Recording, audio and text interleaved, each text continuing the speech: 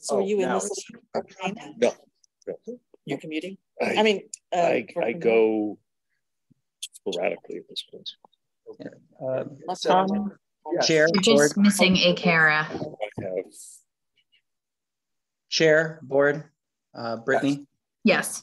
five years of- Um, Just as um, a resource for the, the change in the board members, if anyone has any questions that they need assistance with, um, I'm on the website, all my information's there, phone number and email. So whatever Barbara Pulse is the only one that didn't get any changes, actually.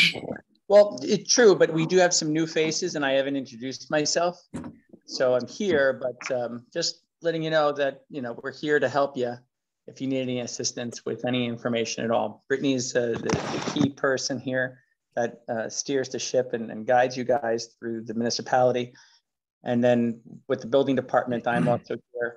If you have any questions, whatever it may be, from title, um, tidal planes, uh, flood zones, whichever you may need, just, you know, lean on me for anything. Thank you. Thank you. We appreciate, we appreciate your support. Um, okay. Uh, Want me to- No, th- no, to then I'll be like, Work session. and my legs won't reach. I I saw a second, all in favor, Aye. Aye, opening a work session. This is the uh, December 13, 2022 uh, work session of the Harbor and Coastal Zone Management Commission. Um, No one is here in person, so uh, I suppose it's superfluous to tell you where the exits are. And if you're watching uh, on, uh, on LMC TV at home, thank you for your interest in village affairs. Um, we, as a work session, we're uh, just weighing in on the completeness of applications so that the applicants can be guided and, and make our, uh, our meeting next Wednesday as efficient as possible. We have two returning applicants and one new applicant for the, for uh, the coming week. So let's take up first nine twenty-one Soundview Drive. This is uh, single family residence. Uh, we've seen them several times and uh, there are, there's very little new in the application. When we spoke to them last time, um, they had changed the location of the pool that had attracted a lot of attention. It is now at grade level. Um, we discussed the possibility of telling them that we no longer needed a um, a site visit because uh, the pool was largely causing the need for the site visit, and that's been changed. Uh, are we still all of the view we don't need a site visit? Yes. yes, Okay, we're all of the view we don't need a site visit. Um, I've looked at this application a lot now. Um, I am pretty confident that we, that I don't need any additional material to cast my vote. I think the application is complete, uh, and I expect to vote it. Uh, does anybody have anything else they think they need from nine twenty-one Soundview? no, not necessary. Okay, I, I think that one is complete. They'll come in and, uh, I expect they will get their consistency. Um, thirteen ten Flagler Drive. This is, um, uh, a coastal property, uh, removing a basketball court and creating a, a large, much larger area of pervious surface than is present. In the present condition, um, they've, uh, they're built to storm codes and have breakaway walls on the first floor. We looked at this at some length as a preliminary at our last meeting. Uh, they've submitted several uh, additional, uh, they've submitted several additional reports, including a bunch of, um, of uh, analyses in plan form, much of it floodplain related, or some of it floodplain related. Um, I'm Mary Desmond. It's the Management. work session, yes, ma'am. Um, so I took a look through their new submissions. Uh, we are still looking for, um, we're still looking for a complete set of reports from uh, Kellard Sessions and from AKRF. Um, I, because I don't think we have complete memos on it. Uh, I also have looked through their, um, their stormwater, their, uh, I'm sorry, their pervi, their, uh, floodplain volume analysis. And I'm gonna need them to walk me through it at the meeting, but I'm not sure I need anything else on it. I just think that I need them to walk me through it to make sure I, I fully understand it. Has anybody else uh, had a chance to take a look at that and? uh, and I didn't, did they tuck that pool in? Did they tuck the Did they pool in? change the Uh, position of yes, the they, they, they've got new schematics that change the position of the pool. Um, can't say I took a real close look at it. No, but I- I But I just- noted they had made that change. Thank you. Um, so we expected that, that's in there. Um, there's not a lot of, uh, the SWPPP has been updated. There's not a lot of other written material, but there are some, some new site plans. Um, I'm gonna need them to walk through it, but I, I don't spot anything missing. There's nothing that I'm sure I need other than from our consultants. Uh, Teresa, I wanted to check with you, um, and see, uh, when we can expect AKRF to have us, uh, complete on this one. Uh, and, uh, John Kellard, I'm, I'm of course gonna wanna know if they are, uh, if, if you agree with what they have said in their SWPPP.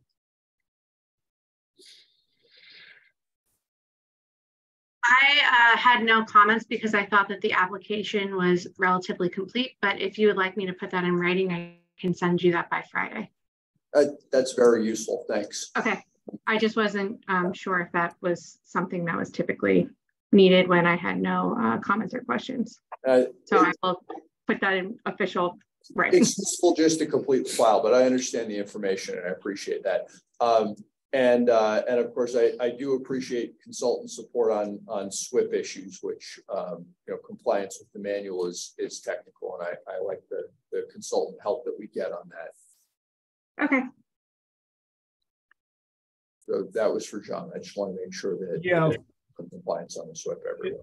The, the applicant addressed, uh, I would say, all all our comments, but one issue. Um, They did a nice job designing the project. Um, I don't have a real, any real issues with it. The, uh, the actual discharge from the property is being reduced by about thirty-three percent. And it's primarily due to the reduction in impervious surface. The only comment I had, which wasn't addressed, was I felt that the the hydraulic soil group that they used for an existing lawn condition, they used a D soil where I, based on their percolation test, I suggested that they they re-examine it and it was more, probably more appropriate to use an A soil, which would be more infiltration from from the lawn areas under existing conditions. Um, I don't think it's gonna, it's gonna change things. They still think they're gonna comply, but the, the, the report just hasn't addressed the, the soil group issue. Okay, I mean, you know, D, D is like the worst class, right? And, and A is an upgrade. It's significantly more, more, uh, absorbent. Correct. So when you pave over an A soil, you get a, a larger increase in runoff than when you pave over a D soil. I got it. Okay. They may, they may have more runoff if they looked at it under an A condition, but because they, they are, they have such a significant reduction, they're probably still gonna comply. They just may wanna update the report to reflect the, the true conditions out there. Okay, that's very useful. Okay, so that's an open item um for thirteen ten Flagler, and uh if if I know anything about uh Cuddy and Feder, I know that they are listening and uh we'll we'll take that cue. Um, okay, so we know what we need to do for thirteen ten. Anybody else on thirteen ten? Um, I just want to say, providing that everything else is exactly the same as the ones we reviewed last time, because I, I looked at the at the folder and I spotted the difference. They brought the swimming pool closer. They used space. They put some more trees and shrubs, and they changed something in there. Um, I haven't checked everything else from that we reviewed the previous times. So providing that everything is equal and the same, then nothing else. I mean, I think this is this covers. Agreed. Okay, we're uh we're approaching a complete file on thirteen ten Flagler. That's good news. Okay, so those are our two prior applicants. We have a new applicant on this one for marine structure.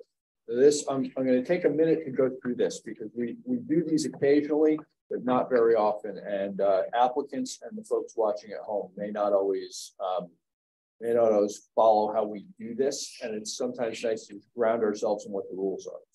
So first of all, we have, we, we have a public hearing requirement for marine structures and I, I think Brittany wanted to make sure that we're, uh, that we all understand what the notice requirement is so that we, uh, we and the applicant can make all their uh, obligations. It, can't be done, it's a 15 day requirement and it can't get done in time for uh, a vote, a public hearing and vote on our uh, December meeting calendar, uh, but it should be able to make January. Uh, Brittany? Yeah, uh, Robert, I just wanted to double check that. Uh, I believe it's fifteen days notice. Um, the radius, I don't have it in front of me, but I did print the code. So I just want to be sure I get all that right since I haven't done it yet. Um, and it looks like signage and all the normal stuff we do for all the other boards. Um, but if you could just kind of guide me a little bit on that in the coming days so I can send that out to the applicant and get them, give them enough time to prepare for that meeting. Happy to have an offline conversation with you tomorrow about that.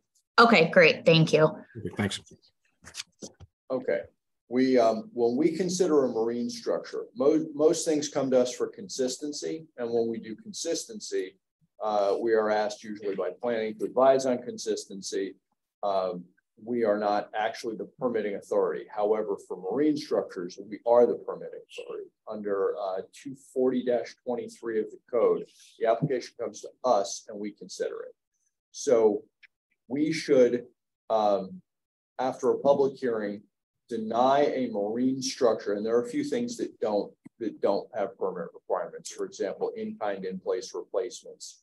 Um, but most marine structures above a certain size are, are going to need a permit from us.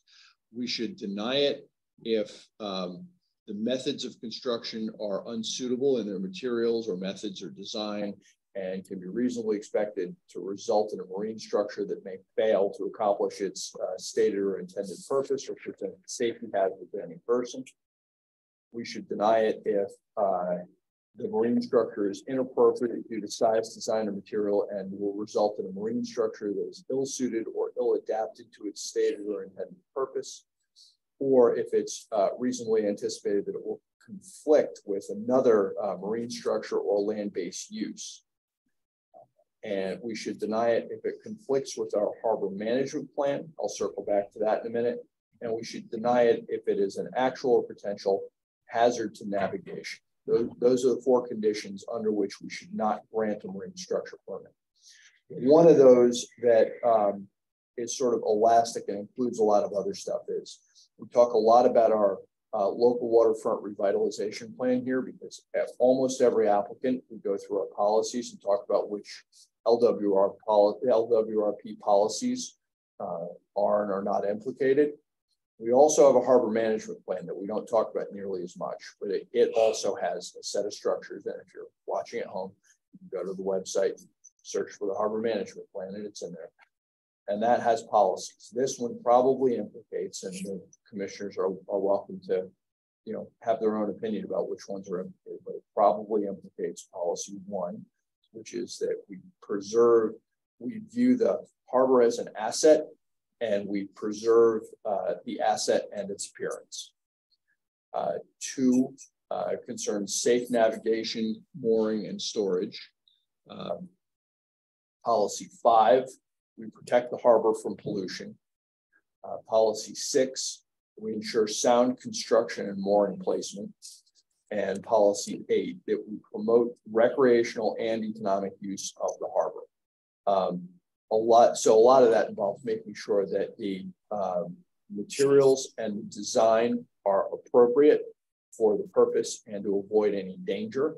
Um, speaking for myself, uh, this is the sort of issue on which um, I like to apply common sense, but also get consultant assistance.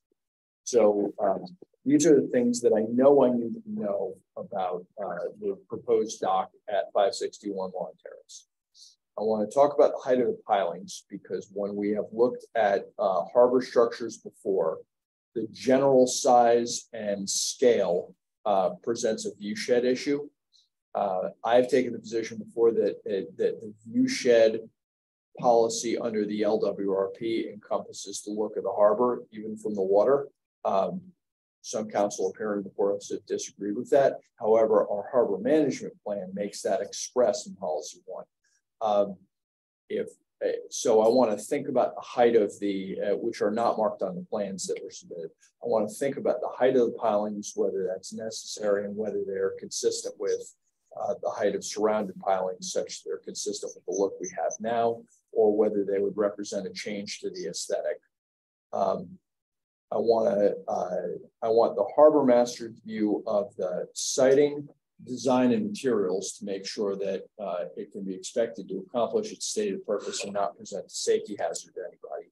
Uh, and I think you should talk about navigation, though it's not apparent to me that the siting causes any navigation problems. It's out of the channel, it's out of the, uh, and they have had to pass scrutiny with uh, Army Corps of Engineers and the state already, which I believe look for that. We will checklist with them the, the permits that they need to uh, have, but they've got several attached to their uh, submission. Uh, I am, but I am I am fairly confident that I want the harbor master to weigh in on siting and materials at least. Uh, Thomas, does that mean he attends the meeting or do I just send the application over to him for review and comments? Uh, attendance for live questions would be ideal. If Okay. If for some reason we can't get that done, written comments would, you know, we could, we could work with. uh, but Okay. this would Be ideal. We don't permit on marine, uh, structures all the time. That's what I- I, I hope it's not. bigger than that. Yeah, yeah, that's what- Uh, to be Here in person. It it would be useful to our process. Okay, Um, okay, so that's what I know I need to think about, the, the size and scale, making sure that it's not out of line. And the only thing I can tell you that I think I'm worried about there is height. know, It just looks looking at like they don't mark the height, but it looks Right. like it's an awfully long way off the water at low tide. That's it. Um, and, uh, siting for navigation, though, since they got Army Corps and state, um, I think that it's unlikely that's a problem. Um, but, uh, for safety purposes, siting the materials, making sure that it's, it's appropriate and won't, you know, won't rot, fall apart and be a hazard in ten years' time. Uh, that's what I think I need to know. Uh, others? Um, one observation for me, I, I was looking at this one and uh, I couldn't find, I mean, I was expecting it a little bit more substantial for, for the impact this one might have. Uh, what do I mean by that? Um, when it comes, you know, to drawings, when it comes to, like you said, you know, the material being used, when it comes to um, the qualification a, con- a contractor must have or licenses or any prior experience, this should be uh, highlighted in that in that um, application, in my view. So, uh, just to give you an example, uh, the survey that is submitted with it, it's a year old. Uh, it doesn't mean that it's out, out of date. I don't think it is, but these things are kind of time critical and based on what we had with IDA and all the changes beyond that point, maybe need some updating. This one or um, anyway, that's that, that's my observation in terms of um, points that I'd like to to make. Uh, I couldn't understand what the impact was going to be. Uh, yes, in the navigation towards that area, but also to the neighboring properties. Um, I was looking at the at the images from you know Google Map and all this kind of. Yeah, stuff, and I know the area. So you can see that there are a lot of pontoons and floating uh, platforms in the area, and uh, I couldn't figure out how this one is going to interact, how it's going to be with the rest of the of, of the stuff. This is something maybe they need to. You said that much better than I was gonna say. Yeah. It's like, I was like, are they gonna hit each other on the docks? Cause they seem to be awfully close. That's all. Yeah, it's, it's, it- it's a, it's a busy piece of waterway. And everybody there seems to have a dock. And uh, I, I saw on the plans the immediately adjacent properties dock. Um, They're sort of close. Um, So we're gonna want to talk to the applicant and the harbor master about that to make Yep. sure. And that's sort of, that's that navigation hazard thing. Are these boats gonna be able to, to get in and out past each other uh, without causing problems? So that's, that's the concern that the applicant should be aware of and uh, that we're gonna want the harbor master's guidance for. during construction and afterwards. Yeah, I mean, obviously during construction and and and, and I think timing is also very important in that. Um, I- guess it's something that is going to take a few days to to be to be built or being transported to that place. So timing time is also Okay, so I think that's what we think we need to know for five sixty-one Lawn Terrace. Um, and hopefully the applicants are, uh, are, uh, watching, have that guidance. Uh, we will see them next Wednesday and, uh, hopefully move the ball forward, uh, in view, in it with a view to getting a public hearing done on the, um, on the January scheduled meeting. Um, now, I hadn't planned on doing the, uh, I hadn't planned on doing the letter from the state because it came in uh, late, what, what we can, since work sessions are a good time to do administrative stuff. Does, does somebody have it? Okay, This one, Ben Stafford one? Yes, Yeah, yeah, you need it? Yeah. thank you very much. Sure. Okay, uh, so I can give it, this is not strictly on our agenda, but it's, it's useful to the public. We had previously, uh, provided guidance to the trustees, um, request for a permit from the state to dredge in the, in the rivers. The state, of course, the trustees determine consistency, we just advise. Uh, and then the, uh, Department of State does their own consistency review. Uh, we have a, a letter from the Department of State to the village's consultants. And they took up the, they brought to the village a bunch of, of their questions about the dredging. Uh, among other things, it says, uh, please provide, uh, quote, much more detailed and robust statement of the purpose of and need for the activity. Um, they ask, uh, how have you determined this dredging would affect floodwater levels and the risk to the adjacent community? They want flow calculations and, and model results. Uh, the state asks for more information about how these particular locations were determined to be the most beneficial. Um, and that it won't cause uh, measurable erosion or flooding increases at other sites. Uh, the state has asked um, this area is very dynamic. It's got parking lots, bridges, homes, bulkheads, et cetera, right on the waterway. Elaborate on how the dredging will affect uh, all of those different infrastructure types. Uh, the state has asked uh, that the village provide a cross section of uh, drawings of each dredging location with dimensions, um, proposed sediment depths, water, uh, water elevation lines, et cetera. Uh, they want bathymetric and uh, current conditions in the, uh, uh, sorry, bathymetry of the current conditions at proposed dredging areas and detailed calculations of the, of the dredge volume quantity. The state has asked for uh, more information about the stockpile locations, which was an issue that we advised on, uh, including but not limited to the dimensions, total quantity of the settlement, sediment they can hold, distance to waterways, and how the spoil will be dewatered.